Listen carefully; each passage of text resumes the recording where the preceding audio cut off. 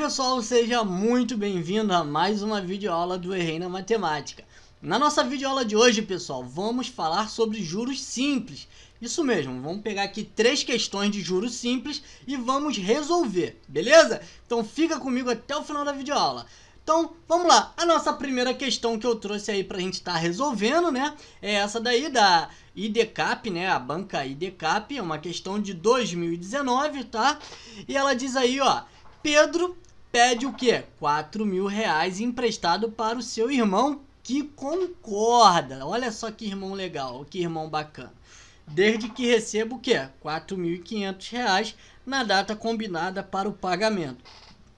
Bom, o irmão de Pedro ele pode emprestar ali os 4 mil reais pro Pedro. Só que quando Pedro for pagar ele, ele quer o que? Ele quer que pague os 4 mil mais 500 reais de juros, ok? Beleza? Então, ó, é, assinale a alternativa. Pera aí que apareceu um negócio aqui na frente. Assinale a alternativa com a porcentagem de juros cobrada pelo irmão de Pedro. Pessoal, então aqui é uma, é uma questão que envolve é, porcentagem e juros, tá? Porcentagem dos juros. Então a gente vai utilizar aqui a porcentagem para a gente estar tá descobrindo aqui qual o valor de porcentagem de juros que o irmão do Pedro é, concordou em emprestar o dinheiro a ele e cobrou, né? Cobrou o Pedro ali uma porcentagem. Vamos lá? Bom, primeiro eu tenho que ter aqui os meus 4 mil, tá? Meus 4 mil, por quê? 4 mil é os 100%, tá? 4 mil é os 100% do que o Pedro pediu emprestado, beleza? E aí a gente vai pegar esses 4 mil e vamos multiplicar, não, vamos somar, perdão, peraí, peraí. Nós iremos somar, né, que vai ser 4 mil, mais a porcentagem que o irmão de Pedro cobrou em cima dos 4 mil. Então vai ser 4 mil que multiplica x%, tá? x% aqui é a porcentagem de juros que o irmão do Pedro cobrou a ele, tá? Então eu voltei ali. O Pedro pegou 4 mil emprestado, mais a porcentagem de juros que o irmão dele cobrou, ele vai ter que pagar, né? Vai ser igual a 4.500, ok? Então nós temos aqui o dinheiro que ele pegou emprestado e aqui, ó, ó, aqui, ó, nós temos a porcentagem dos juros que o irmão do Pedro cobrou a ele, ok? Então a gente vai resolver essa conta, eu vou repetir aqui os meus 4 mil, eu vou ficar com 4 mil, mais o que? Ali dentro, pessoal, eu tenho a porcentagem que ele cobrou. Eu posso estar tá simplificando aqui esse zero com esse zero, esse outro zero com esse outro zero. Aí me sobra o que? 40 vezes x, beleza? Então eu vou ficar com é, 40 vezes x, que é igual a 40x, que vai ser igual a R$ 4.500, beleza?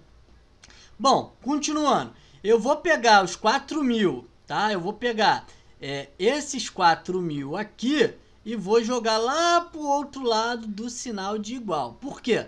Porque é, a gente vai permanecer aqui do lado de cá com os 40x. Porque eu quero descobrir o valor de x. O valor de x nesse caso é o valor da porcentagem que o irmão do Pedro cobrou. Então os 4 mil, como passou para o outro lado, ele passa diminuindo, tá? Inverte a operação. E o inverso da, da, da, da soma é a subtração. E aí eu vou ter 40x, né? Que é 40x igual o que? 4.500 dividido... Oh, menos 4.000 vai ficar 500 reais.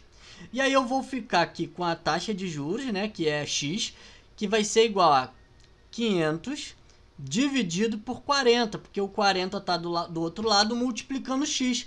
Quando ele passa para o outro lado, ele passa dividindo.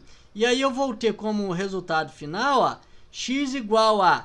Vamos simplificar aqui, ó, esse zero com esse zero. E aí a gente vai ficar com o quê? A gente vai ficar com 50 sobre 4. E aí se eu fizer essa conta, se eu fizer 50 dividido por 4, eu vou encontrar isso aqui, ó, 12,5%. Né? Então a nossa resposta é 12,5%. É a nossa resposta é a letra E, ok? Então a nossa primeira alternativa, nossa primeira questão é a alternativa letra E de escola, que marca aí 12,5%. Bom, a nossa segunda é, questão que eu trouxe, beleza?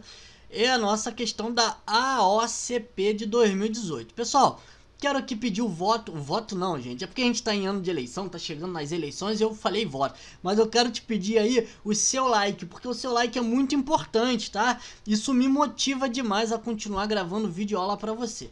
Então, se você está assistindo a nossa videoaula, deixa aí o seu like, incentiva aqui o seu professor e eu quero agradecer aqui muito a vocês que estão ajudando o canal. Por exemplo, é, esse áudio está sendo gravado pelo microfone que foi doado por um inscrito do canal, tá? O nome dele é Wellington Weber, né? Weber.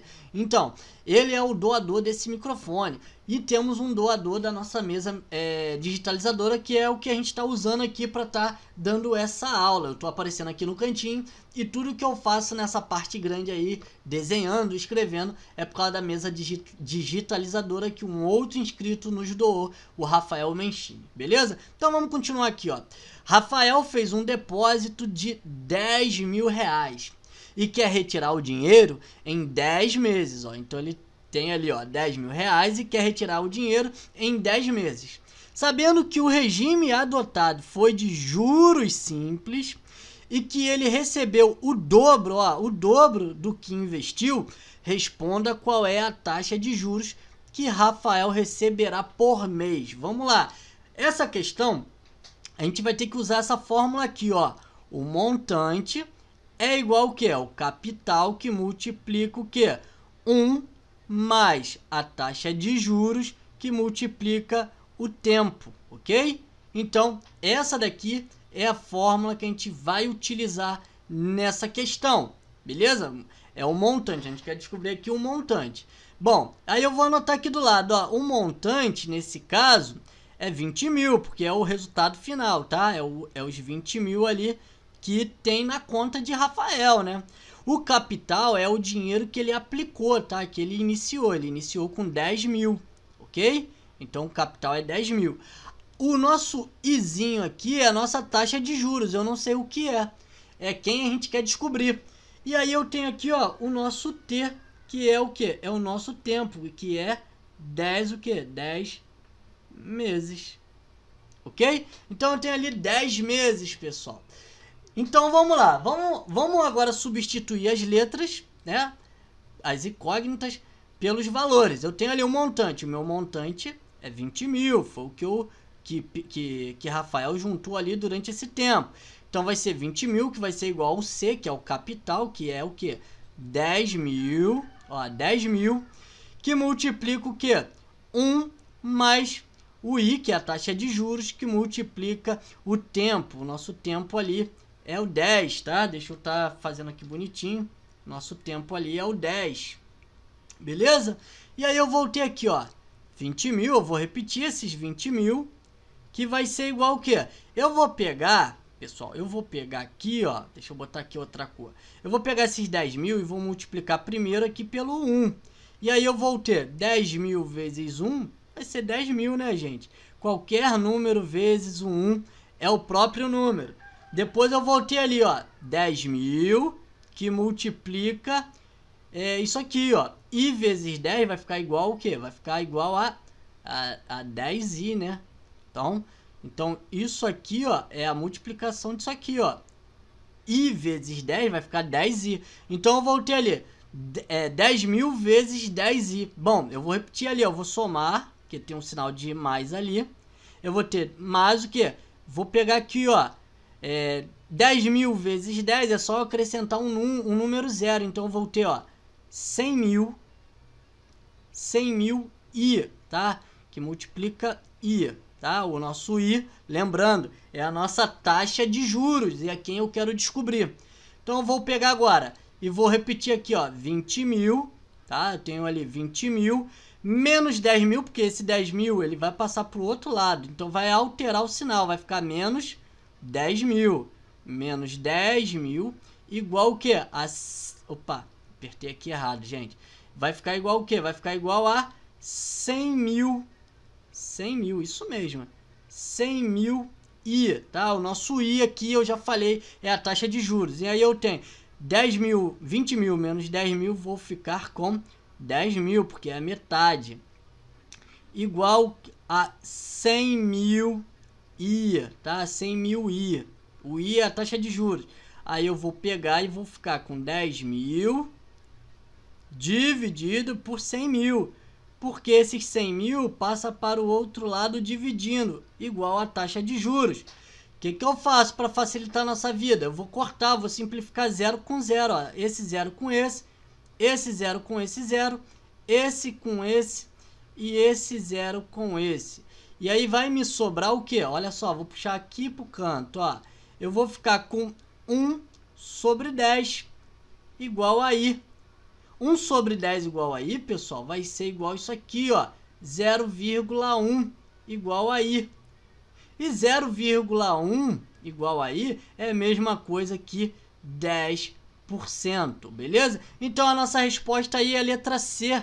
Pessoal, letra C, 10% ao mês é a nossa alternativa. Vamos para nossa última questão, para a gente estar tá fechando aqui. Bom, pessoal, a nossa última questão que eu trouxe aqui para a gente estar tá resolvendo é essa, ó, da banca Amal, Amalk 2019, tá? E aí ela diz o seguinte, pessoal, presta bem atenção aqui, ó. Um investidor aplicou a quantia de R$ 9.800, ó. Ó, R$ 9.800 em um fundo de investimento que opera no regime de juros simples. Após um ano, ó, o investidor verificou que o montante era de R$ 12.152. Qual a taxa de juros desse fundo de investimento? Pessoal, ele quer descobrir aqui qual é a taxa de juros que, que rendeu ao mês, né?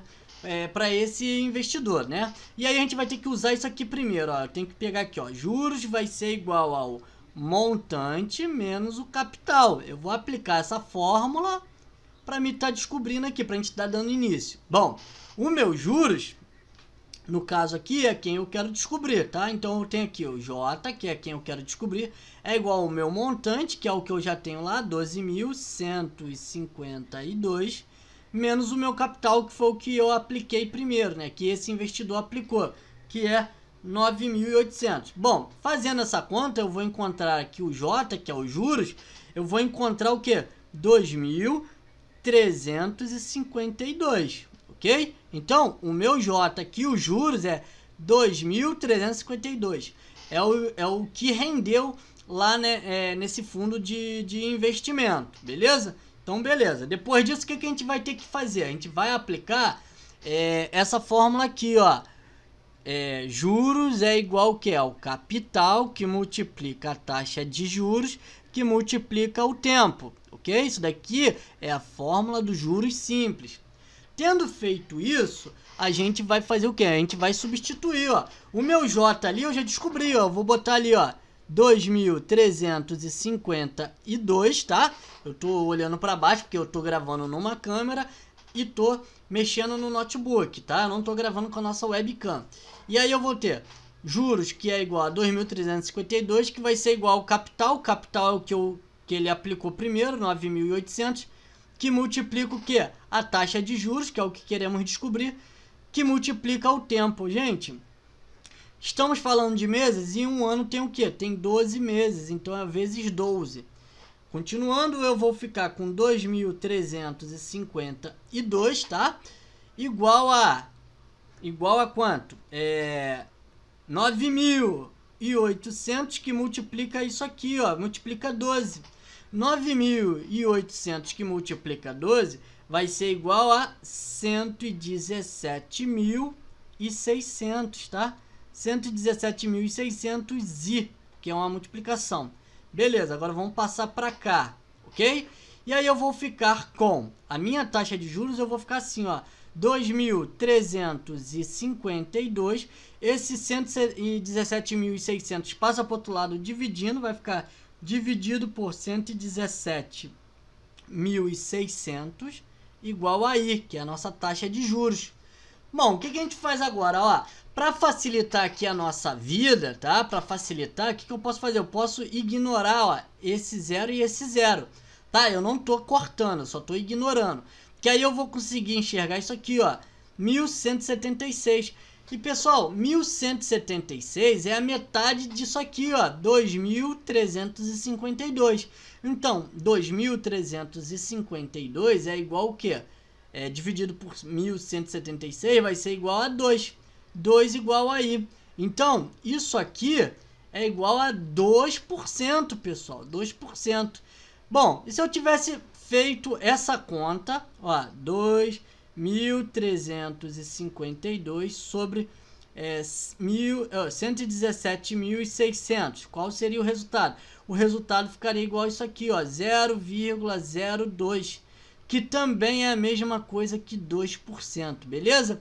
Então é isso aí, a nossa alternativa correta nesse caso é a alternativa de letra D de dado, 12% ao mês. Ok? Então, pessoal, essa foi a nossa videoaula de hoje. Se você não for inscrito no canal, já se inscreva, ative as notificações e vem comigo, deixe seu like e deixe um comentário aí pro professor. Até a nossa próxima videoaula. Eu fui!